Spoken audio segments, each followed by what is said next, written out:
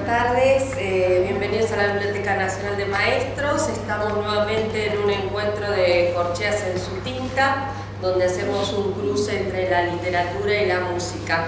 Este encuentro es especial porque es el último del año, así que esperamos en el 2020 retomar realizando los mismos cruces entre literatura y música e invitarlos a consultar todo este fondo bibliográfico que tiene la biblioteca en la sala de lectura, donde es una biblioteca pública. Eh, contarles que hoy nos acompaña eh, Pablo Anzolavere, que es eh, doctor en letras y justamente se especializa en todo lo que es cultura popular argentina. Hoy nos toca Homero Mansi, pero también entre sus trabajos tienen trabajos como por ejemplo de Spinetta, donde tienen un, trabajo colectivo que también podría ser oportunidad para en el 2020 hacer algo a través de Spinetta. Eh, igualmente, eh, Pablo Solaver es profesor en la Universidad de Buenos Aires, en la Universidad de San Andrés y en la Universidad Nacional de Burlingame. Eh, uno de sus trabajos más reconocidos y que quizás lo pueden encontrar más fácilmente es su trabajo sobre anarquismo y literatura argentina. Así que es un placer eh, que Pablo nos esté acompañando hoy y que Homero Mansi sea justamente el que nos invite a, pasear eh, desde la Biblioteca Nacional de Maestros. Y con relación a la música, como todos los meses, nos acompañan profesores y alumnos del Instituto Santa Ana, del profesorado de música, a quien siempre agradecemos esta colaboración y este aporte. En este caso eh, contamos con dos docentes, Patricia Morra y Luz Dolae, así que un placer en que nos acompañen y bueno, el espacio es todo de ustedes y empezamos el viaje. Gracias.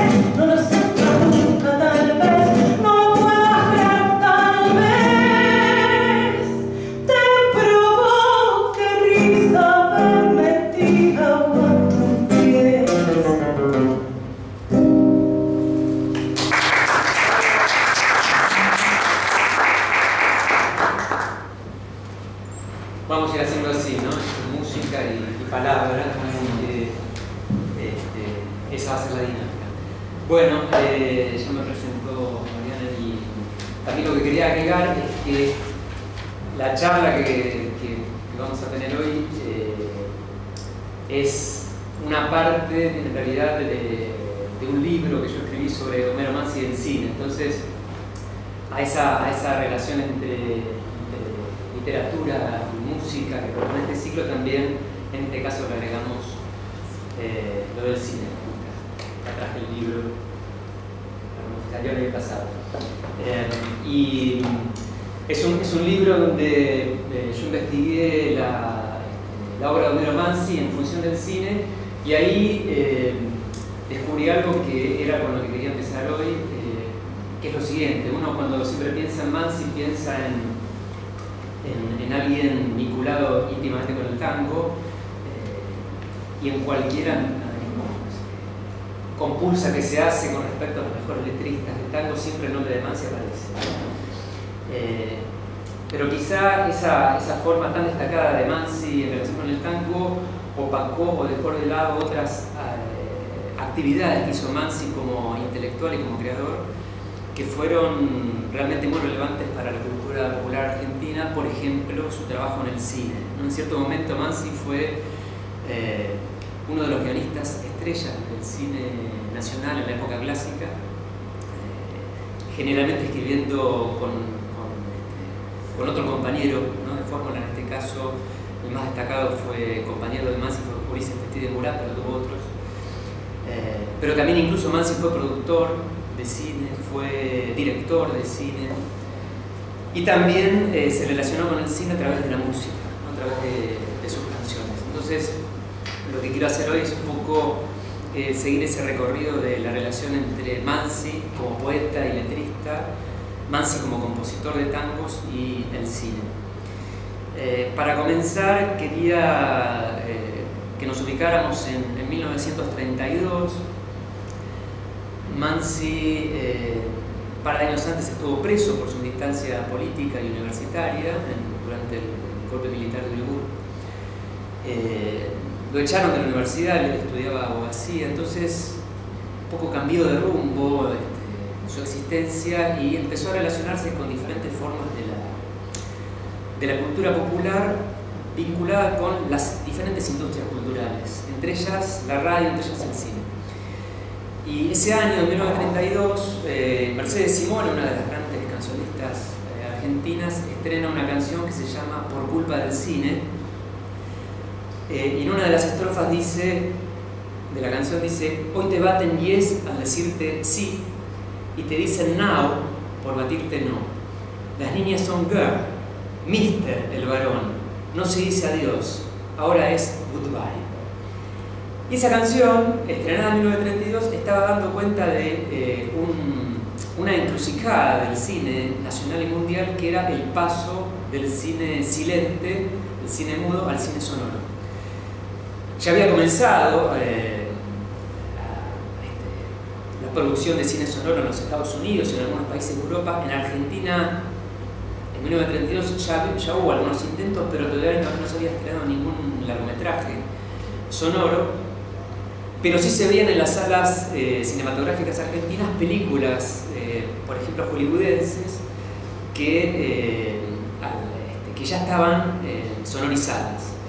Y lo que capta este tango es justamente la dificultad que tiene el público acostumbrado al cine mudo al adaptarse a, estos sonidos nuevos que incluyen como un dato fundamental el idioma. Hasta ese momento el, el idioma no era un problema, no importa de dónde viniera la película ahora sí. Y esta, esta canción registra ese problema. Más adelante también se refiere a la influencia cultural del cine, ¿no? la canción de Mercedes Simone, que cantaba Mercedes Simone. Peinado Logreta, camisa Logarri, corbatas de estilo Adolf Menchú. Así en todas partes la gente se viste, estés en el norte o estés en el sur. No hay vuelta que darle, la gente anda loca y, y al Ford de la vida le han dado marcha atrás las niñas prefieren por culpa del cine al daddy pituco que de moda está.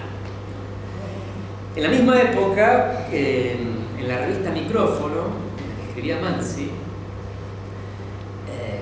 aparece publicada, por ejemplo, un aviso que eh, ofrecía cursos de inglés en uno de los, de los programas radiales que se anunciaban allí por un tal Mr. Catwell, que eh, aseguraba que en breves lecciones el público podía eh, adiestrarse en la escucha del inglés para entender lo que las películas ofrecían. Es decir, todavía no estaba muy, muy aceitada la, cuestión de los subtítulos de las películas, la gente no estaba acostumbrada a leer y entonces ese desfasaje era un problema. En el año 33 se estrenan dos largometrajes argentinos sonoros, los dos primeros, que son eh, Tango y Los Tres Berretines. Y ahí ya aparece Mansi en relación con el cine y, la, y el tema que escuchamos recién, Milonga Sentimental, es uno de los, de los tangos que van a formar parte de la película Tango, que en realidad es una especie de cabalgata musical con un lega argumento que enhebra a lo largo de toda la película diferentes eh, canciones representativas de ese género que es el tango entre ellas Milonga Sentimental de Mansi. También el otro, Milonga de Mansi que aparece en la película Milonga del 900. De modo tal que Mansi, en ese sentido, ingresa al cine a través del tango, de tangos que él ya había creado previamente a, este uso de, la sonoridad del tango, perdón, del cine eh, que hace del tango. Eh, los Tres Barretines, la otra película sonora de, las primeras, también tiene el tango como un elemento muy importante tres de los protagonistas de, la película es el tango. Eh, entonces, lo que, lo que se puede decir es que un poco estas dos películas que sonoras, eh, estos dos primeros largometrajes argentinos sonoros, lo que hacen es tratar de aprovechar lo que tiene de diferencial la cultura argentina con respecto a otras culturas con las que tienen que comer, eh, competir industrialmente, en el caso del cine, eh, que es justamente la música, y no cualquier música, sino el tango. Es decir, si Hollywood tiene una industria mucho más desarrollada, mejores actores, mejor producción, mejores recursos técnicos, lo que no tiene es el tango. ¿no? Y entonces se le ofrece al público argentino para que vaya a ver estas películas sonoras argentinas más precarias desde el punto de vista técnico, aquello que la gran industria no tiene, la gran industria norteamericana, que es el tango. Por eso las dos primeras películas iniciales sonoras argentinas están tan ligadas con el tango. Eh, y ahí Mansi aparece. Luego Mansi, eh, sin dejar de escribir eh, tangos y milongas y valses, se va a acercar al cine como autor de canciones escritas especialmente para, para cine, como ocurre también en el cine de los Estados Unidos y otras latitudes. Es decir, no solamente el cine utiliza canciones ya este, existentes para introducirlas en sus películas, sino que ahora lo que hace es pedirles a algunos compositores que creen canciones eh, para determinada película y que incluso adapten eh, la letra de la canción este, que se les pide que, creen a eh, el argumento de la película para la cual Eso es lo que ocurre con Mansi, por ejemplo, en la película Monte Criollo, en la que, a, la que Mansi llega por intermedio de Sebastián Piana, con quien había compuesto varias milongas y, y tangos, milonga sentimental, por ejemplo. Y entonces, eh, en función del argumento de la película, donde había varios jugadores, eh, donde el juego era un, asunto muy importante, compone Monte Criollo, que es uno de los tangos más, más destacados de los, tantos tangos destacados que tiene más. La, este, la anécdota con respecto a esto es que la música la compone Piana, pero Ángel Mentasti, que era el, el dueño de Sonofilm, de Argentina Sonofilm, no quedó conforme con la música y entonces, sí con la letra de Mansi, entonces le, pidió a Piana que la cambiara, Piana no quiso y entonces eh, que era otro músico de tango que participaba en la, película, eh, lo reemplazó a Piana y, compuso la música de, la letra de Mansi, es así como entonces ahora este, el tango que se conoce Montecriollo tiene letra de Pracánico y, perdón, música de Pracánico y letra de Mansi, cuando originalmente iba a ser de piano. también estas, este, estas idas y vueltas con respecto a la composición tienen que ver con la dinámica de la industria cultural, eh, en este caso la relación entre eh, tango y cine, ¿no? como las exigencias del cine y la producción cinematográfica eh, son capaces de modificar incluso quiénes son los compositores de una canción. Em, y a partir de ahí, entonces Mansi va a seguir ligado al cine como compositor de canciones. Y desde, ese momento hasta el final de su existencia prácticamente, nunca Mansi va a dejar de componer canciones para el cine o de aportar canciones hechas originalmente sin pensar en el cine, para el cine. Hoy vamos a hablar de una de las más conocidas de Mansi en relación con esto.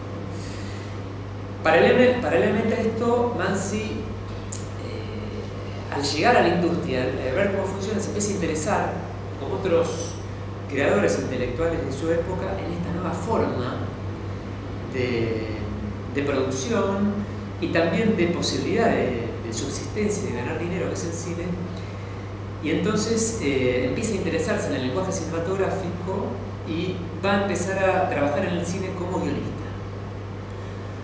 Lo primero que va a hacer es una adaptación del gran éxito del cine mudo argentino, que es Nobleza Gaucha, a su versión sonora del año 1937. Pero es cientos años después cuando empieza a trabajar de manera constante y consistente, eh, escribiendo varios guiones eh, cinematográficos. Y al mismo tiempo, Mansi, ya a fines de los 30, comienzos de los 40, también en, relación con el cine y este, uniendo su vocación de escritor con el cine, se va a dedicar a la crítica cinematográfica en el diario El Sol de Buenos Aires. Es decir, que al mismo tiempo va a escribir canciones para cine, va a escribir guiones para cine y va a escribir crítica de cine. Y en esas críticas que escribe para el Diario del Sol, eh, lo que tienen de interesante es que si uno las lee, todas esas críticas, lo que aparece allí es un proyecto muy claro de Mansi, muy consistente además de eh, con respecto a cómo debía desarrollarse la industria cinematográfica argentina, es decir, qué es lo que debía hacer el cine nacional para constituirse en efecto como cine nacional, para lograr un carácter diferencial con otros cines y otras industrias, y de ese modo no solamente lograr un carácter propio, sino además poder sobrevivir como industria, porque tenía muy claro Mansi que el cine era industria, frente a competidores de mucho peso, como era, por ejemplo, el cine norteamericano o el cine francés. Toda esa esa, como ese programa que tiene Mansi sobre el cine nacional, muy, muy, muy lúcido, lo formula en esas críticas del sol.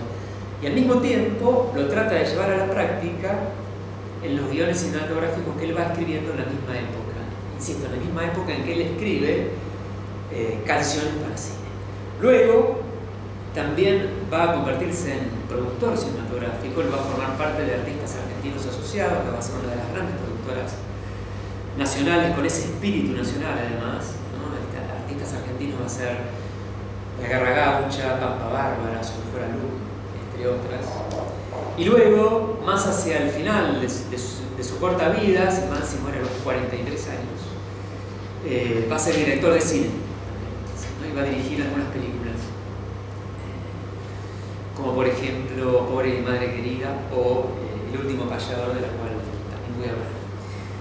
Bien, entonces, volviendo un poco eh, atrás, una de esas primeras películas que escribe Mansi es eh, El viejo Ucha, que la, escribe con Luis Entendí de Murat, basándose en una obra de teatro de los años 20. adapta esa obra al cine y es la primera producción de artistas argentinos asociados. Entonces, lo que tiene de relación eh, esa, esa película, El hijo Ucha, que se estrena en el año 41 con, con el tango, es que allí aparece como un tango muy importante y al mismo tiempo como leitmotiv de la película, el tango Malena, que él había compuesto con eh, De Mare, con Lucio De Mare, muy poquito antes. Hay toda una historia ¿no? con, respecto a cómo, cómo, compuso Malena y en qué mujer se había inspirado Mansi para escribirla. Hay discusiones con respecto a esto, se lo dedicó a Nelly Omar, no se lo dedicó. Pero aparte de esa discusión, que, ha llenado varias páginas de la bibliografía tanguera, eh, lo interesante es que eh, Mansi de Mare, los autores del tango, al mismo tiempo participan de la, este, de la producción del viejo Ucha, porque Mansi es el guionista junto con Petit de Murat y de Mare el musicalizador del película, el que hace la música. Y no es casual que lo haga porque el director de la película es su hermano, Lucas de Mare. es director, Lucio de Mare el músico, Mansi guionista, y los dos aprovechan, los compositores de la canción, para incluir su flamante tango en la película y de paso darle difusión a un tango que muy rápidamente fue grabado, fue grabado por la orquesta de De Mare y también por la orquesta de Troy en el mismo año de 1940. Entonces, al mismo tiempo que se está estrenando, eh, se está estrenando este, el, disco Malena, se la difunde en el cine. Ahora, lo interesante es que Mansi y Petit de Morat también eh, hacen del tango parte del argumento del viejo Ucha, que es la historia de un, inmigrante italiano que tiene varios hijos, un tipo muy, muy, este, muy trabajador pero muy tacaño cosa que los hijos sufren, y uno de los hijos de viejo Ucha es un, eh, es un joven porteño que tiene el berretín del tango y, eh, tiene un tango que ha compuesto que no es otro que Malena. ¿no? Mansi de Mari se lo prestan al personaje ficcional para que él sea el autor del tango. En un momento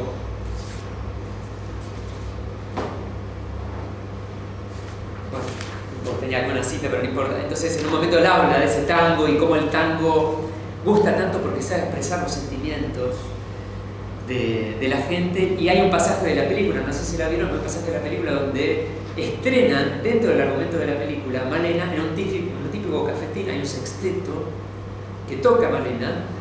Eh, y, el, y, el, y, el, personaje, que es Osvaldo Miranda, que era cantón de, cantón de tangos, este, canta. El dato curioso es que en realidad es un playback, porque claro, eh, el que canta realmente es otro Miranda, Juan Carlos Miranda, que era el cantante de la orquesta de Demare. Eh, y esa es otra forma también de, de, cómo Mansi eh, aprovecha esa relación intensa con el tango, con el cine, para que el tango forme parte del cine y, este, de, diversas maneras, ¿no? Como una canción que es el leitmotiv, pero al mismo tiempo es el soundtrack de la película y al mismo tiempo es parte del argumento de la película. Y, este, y ahora, como las chicas han preparado Malena, entonces vamos a escuchar esa canción que por primera vez se vio en el cine en 1941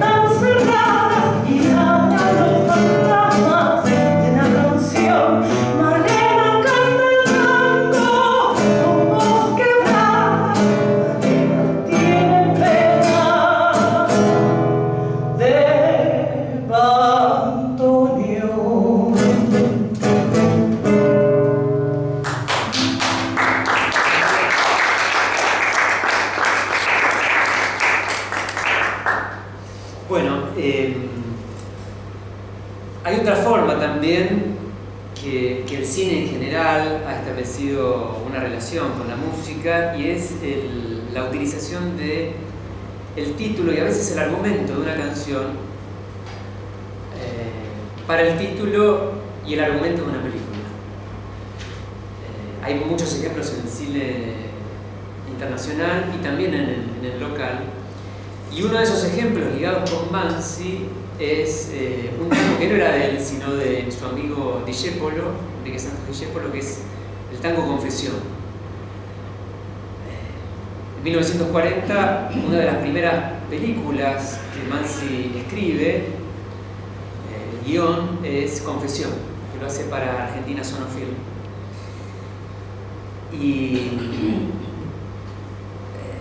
también hay, varios hechos eh, notables en relación con esta adaptación de una canción al cine que vamos a, ir comentando. ¿no? No sé si tienen presente la canción del tango de Dijépolo, pero es un tango altamente dramático, como muchos de Dijépolo, casi como una, pequeña historia de Dostoyevsky. El confesión es la historia de un hombre que se confiesa. Eh, fue conciencia pura que perdí tu amor nada más que salvarte, oímos días, yo feliz me arrincono para llorarte, ¿no? Así empieza confesión. Eh, y el que se confiesa no lo hace, como habrán escuchado, frente a un sacerdote o frente a Dios, sino frente a su enamorada en ausencia. Y lo que le confiesa es que al darse cuenta de que su vida iba a ser un fracaso, se hizo odiar ante la, la muchacha para que ella no cayera con él. En eso consiste la confesión. Incluso llega a pegarle, en un momento llega a ponerse violento para que ella lo odie y lo abandone. Altamente dramática la historia. Y hay un momento de la, canción donde el que se confiesa dice que un año después de, de, esa separación provocada por él mismo, la vuelve a ver. A su antiguo amor dice, ibas linda como un sol, se paraban para mirarte. Eh, y compara su ruina presente con el esplendor de su antiguo amor y un poco se felicita por lo que hizo, ¿no? porque se da cuenta de que en efecto la salvó de lo que había hecho. Historia dramática, terrible, eh, con final absolutamente infeliz, que eh, Polo escribe también para la industria cultural de los años 30, que es eh, un sainete que, que iba a interpretar su compañera de entonces y su compañera hasta el final de su vida, de su vida la vida de Discepolo, que fue Tania, ¿no? que era una completista española que había, eh, se había afincado en Argentina y se, había, se había convertido en la, en la pareja de Discepolo. Ahora, Discepolo como letrista era muy diferente de Mansi en el sentido de que Mansi era muy repentista, escribía muy rápido, en cambio, Discepolo podía estar rumiando la letra de una canción durante mucho tiempo, incluso años, y hasta que no estaba seguro de todas las palabras que querían integrar su, canción, no la, entregaba. Entonces, venía la fecha de estreno de, este sainete, la canción no estaba, Tania estaba esperando que, su pareja la terminara y Discepolo no la terminaba, entonces el, que era productor del teatro eh, la, este, también lo estaba apurando a Discépolo y mm, se les doy la, data exacta, Julio César, eh, perdón, César Madori, que también fue compositor y fue cineasta, y entonces eh, le, ofrece su ayuda a Discépolo y termina a Madori de llenar las partes que, que, daban este, a confesión y termina en el tango. Eh, y luego, a partir de ahí, Amadori se, convierte en un colaborador de Discepolo y como confesó más adelante Amadori, cuando Discepolo ya había muerto, dice, yo la verdad que no era 50%, 50 Discepolo y 50% yo, yo lo ayudaba a terminar lo que no él terminaba, le daba el, empujoncito de Discepolo para que terminara. Y así es como termina en Confesión, lo estrena, es un éxito, Discepolo además en ese momento, en el comienzo de los años 30, era un autor muy reconocido. Eh, bien, 10 años después, en 1940 Argentina Sonofilm se decide hacer la versión cinematográfica de Confusión. No sé si vieron la película, pero en realidad la película traiciona bastante el argumento de la...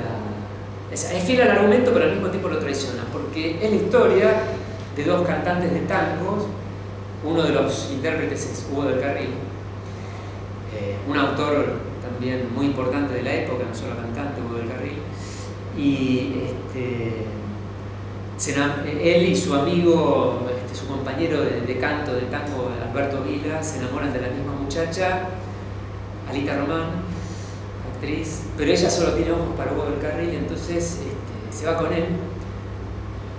Pero en su intento, esto es el argumento, en su intento de triunfar, en la música le va mal, y entonces, como en la canción, el personaje Hugo del Carril, para evitar que junto con su caída también caiga su enamorada, se hace odiar y la expulse de su vida, la muchacha.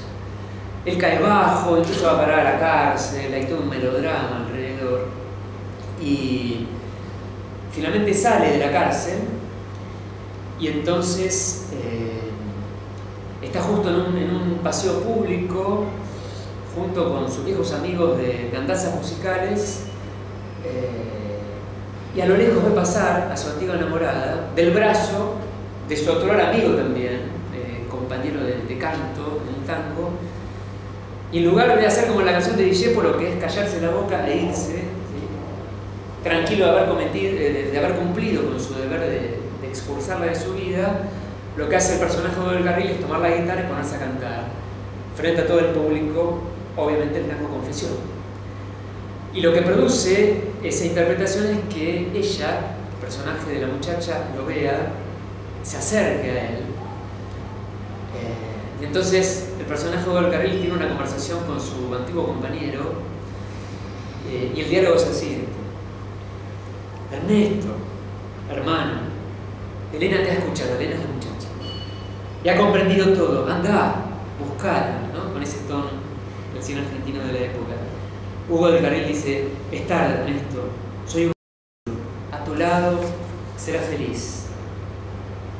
Y su amigo le contesta, te la he cuidado para vos, hermano, como una hermanita buena. Allá en la pensión, hace un año que llora por tu crueldad. Conversan lo que tienen que conversar, la pareja se reúne, final feliz. La película tiene un final feliz. Entonces, con respecto a la película de Discepolo, uno se da cuenta de que eh, hay en este caso un cambio drástico, incluso eh, una traición con respecto al, espíritu del, argumento tan dramático que tenía la película. Entonces la pregunta que uno se puede hacer es, bueno, ¿por qué cambiaron de esa manera el argumento cinematográfico? ¿Por qué Mansi el título cambiaron de ese modo? Eh,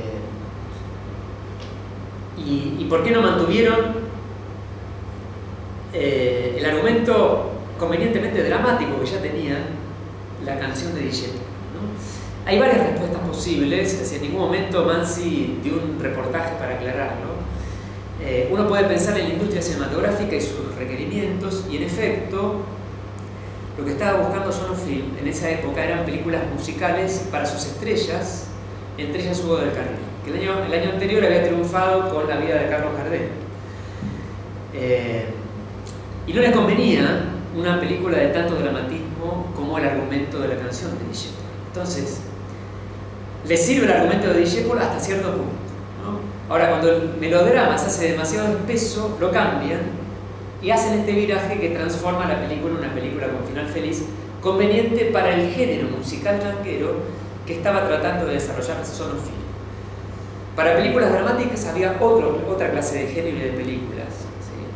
Eh, que también se escribían en la época, pero no estas musicales. Entonces, ahí vemos también como la necesidad de la industria cinematográfica, que es diferente a la, la industria este, discográfica, eh, explican esta clase de cambios.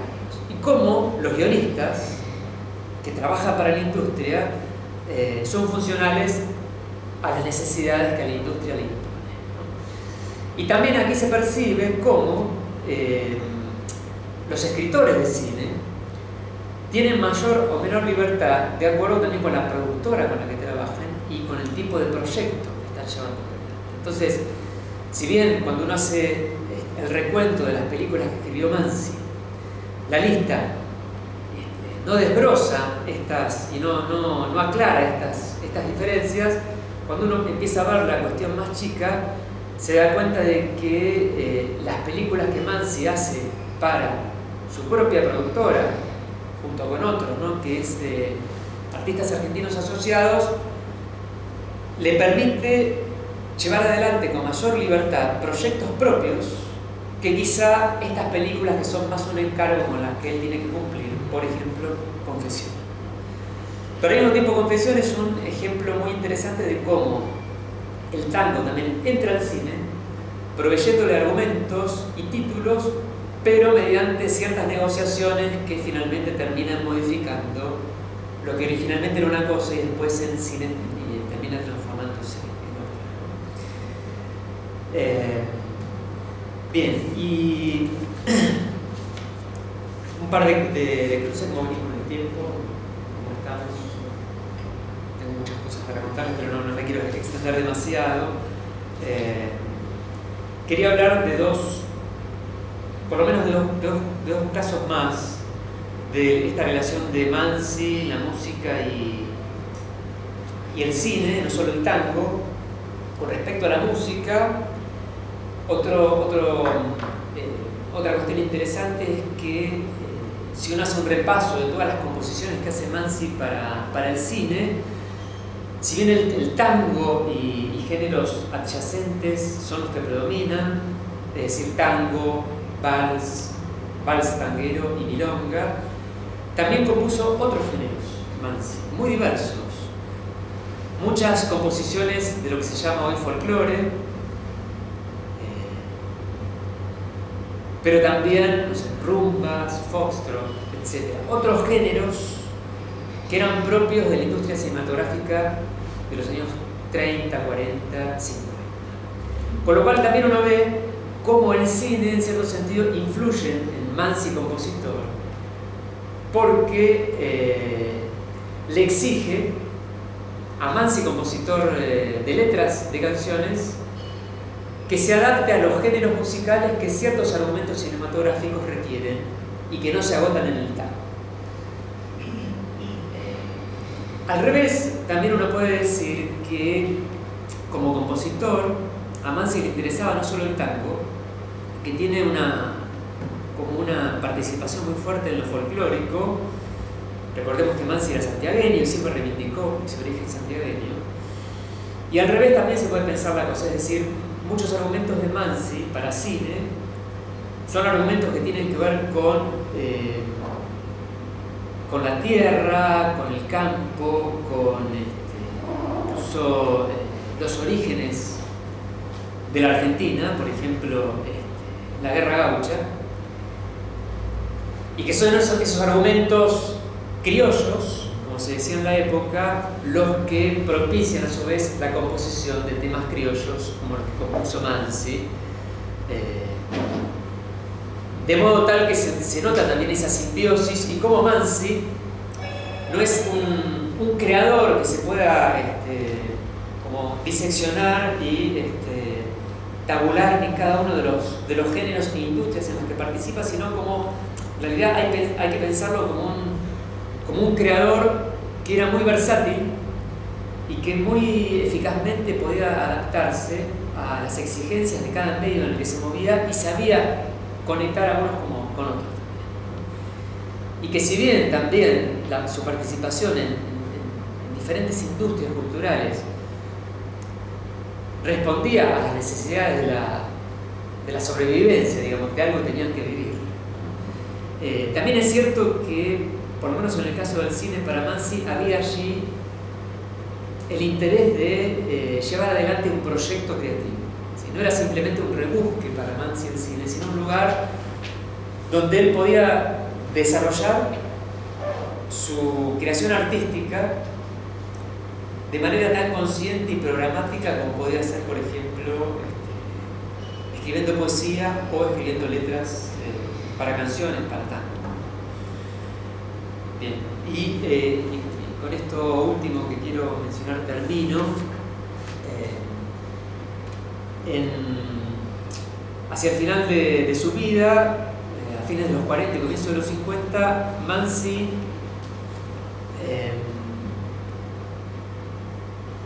filma dos películas en las que participa como guionista y como director, que son Pobre mi madre querida y El último payador. La primera de 1948 y la segunda de 1950. Muere en el 51. Las dos tienen que ver con la figura de José Bettinotti. La primera, como confesión, es una canción que se transforma en el título de una película. Eh, Pobre mi madre querida es una canción que no tiene un argumento demasiado dramático, casi no tiene argumento por lo tanto, el guion que además se escribe tiene mucho de invención y, está muy poco ligado con la canción de Bettinotti. También actúa Hugo del Carril, también actúa la, gran este, actriz italiana Emma Grammatica. Eh, y en la película aparece la canción que da título eh, al film pero más interesante, por lo menos para esto que estamos hablando hoy, es la otra película que es El último payador, porque allí lo que sí se propone Mansi es retratar con varias licencias la vida de Bettinotti, José Bettinotti. Eh, el payador del título, también interpretado por Hugo del Garril, una de sus mejores interpretaciones, donde se ve muy bien la relación de principios del siglo 20 entre el cantor popular, ciertos productos de la industria cultural de la época, por ejemplo, el circo, en ese caso el circo de Frank Brown, y la política. Así como el payador, el cantor popular muchas veces se transforma en un, cantor al servicio de la política de cierta política, de ciertos caudillos. Eh, en el caso de Bettinotti, cantando a favor del partido de sus amores, que es la Unión Cívica Radical. Y eh, mm, para, el argumento de esta película, inventa, hace participar a otro, a otro personaje junto con Bettinotti, esta es una invención de Mansi, hace que sea un amigo de la juventud de, de Bettinotti, un gran letrista de tango, eh, que es Pascual, Pascual Contursi. Se conocen en una fábrica, argumento. Contursi es medio anarquista en esa época, según el argumento de la película. Para una huelga, es demasiado extremista, en cambio el personaje Betirotti es más conciliador. Eh, finalmente la, vida de los amigos va por rumbos diferentes. En un momento se reencuentran cuando Bettinotti es una de las figuras del circo de Frank Brown. Y allí este, estamos en, en, la década de 1910 eh, Bettinotti le cuenta que está escribiendo para un nuevo género que va a tener mucho éxito, que es el tango. Y para un nuevo género que es el tango canción. Eh, y también para un formato muy popular de la época de la industria cultural, que es el, género chico, en especial el sainete. Dejan de verse en ese momento y luego pasa el tiempo, y entonces Mansi fuerza un poco la, la biografía de Bettinotti en lugar de hacerlo morir en 1915, que es cuando efectivamente muere, lo hace morir en 1917, que es el año que siempre se señala en la historia del tango del inicio del tango canción. Porque ese año eh, Gardel graba uno de los tangos canción de, de, Contursi que es Mi Noche Triste. Este, y entonces eh, ya está enfermo de tuberculosis, no lo dejan cantar porque eso le, afecta más aún su, su convalecencia. Eh, Contursi va a ver al viejo amigo y lo que lleva consigo en ese encuentro es un disco. Y la película lo que tiene de interesante es que muestra todo el proceso de grabación de un disco, del cual también participa Bettinotti. muestra cómo se grababa en aquella época un disco cómo funcionaba la industria del disco en sus inicios. Y entonces le dice, mirá hermano, le dice Contursi, el personaje de Contursi al de, Bettinotti, que es Bodo del Carril, mirá lo que me grabó Carlos Gardel. Entonces tienen un fonógrafo ahí, ponen el disco y se escucha Mi, Noche Triste grabada por Gardel, se escucha la voz de Gardel. Y Bettinotti admite, escuchando cantar a Gardel, que su tiempo es decir, que el tiempo de los payadores ha terminado, porque hay una nueva figura que ha venido a, reemplazarlo, que es la del cantor de tangos. El mismo Gardel se está transformando de ser un cantante de estilos criollos al gran cantor de tango que fue después. Y, que, después acrecentó su fama con el cine. Eh, y entonces dice algo así como que, bueno, ahora me puedo morir tranquilo porque sé que Gardel va a seguir lo que yo hice, pero de un modo mucho más moderno. Y ahí está el disco como un, como un símbolo de esa modernidad, esa, esa, forma nueva de difusión, que no es la difusión directa a la que estaba acostumbrado Bettinotti, que era el canto en, los comités o en el circo, sino la difusión a través del disco. Pero también es interesante el personaje de, de Contursi, porque Contursi eh, aparece allí como, uno podría decir que en esta película Contursi es Mansi. Es decir, no solamente está representando al, cantor de tangos, a esa nueva figura que es el cantor de tangos, sino también a otra nueva figura que es el letrista de tangos. Es la figura de Bettinotti. Eh, y en este sentido, uno puede pensar que en esta película que escribe Mansi, solo, eh, Bettinotti y, Contursi cumplen una misma función. Es decir, así como Bettinotti es el antecedente inmediato de Gardel, eh, es como la, prehistoria de Gardel, lo mismo es Contursi con respecto a Mansi.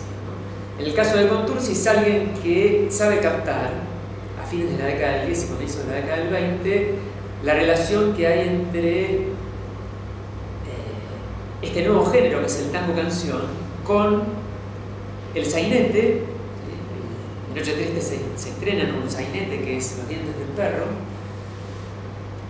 Y la industria fonográfica, como algunos años después Mansi va a saber darle una vuelta de tuerca a esto que mostraba Contursi en la película cuando el cine reemplace como forma popular eh, al sainete y al género chico eh, en general. De algún modo, en ese sentido uno puede pensar que en la película, eh, insisto, así como Bettinotti es el antecedente de Gardel, Contursi, el personaje de Contursi que inventa Mansi para la película que él mismo escribe, es su propio antecedente, no el propio antecedente de. Bien. y, y esto es todo. Es todo en cuanto a la charla y después si quieren vamos a las preguntas, pero no es todo con respecto a la música, si queremos sí. algunos tangos más. Sí, sí, sí, podemos seguir. Tres más bien, ¿no? Tres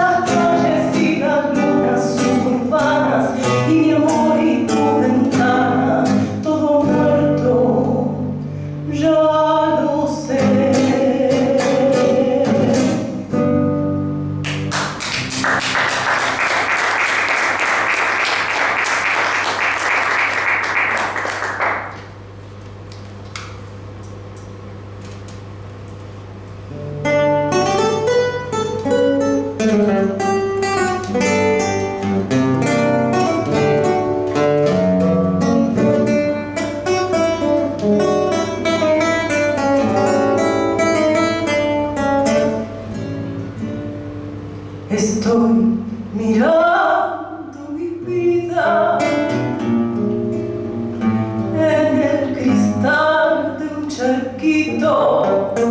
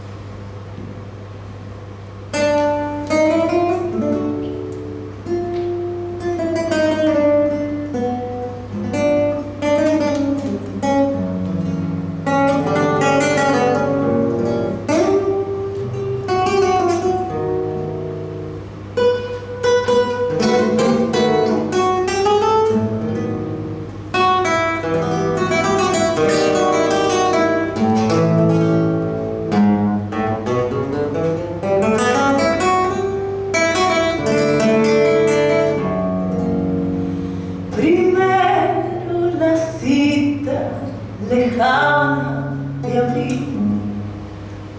por culpa que debimos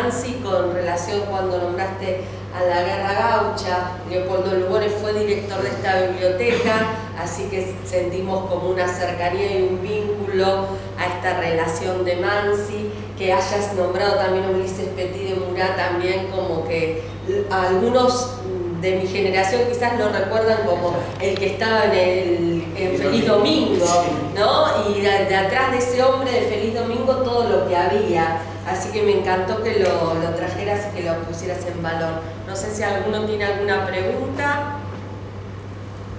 Bueno, simplemente muchísimas gracias y lo seguimos esperando en estos encuentros.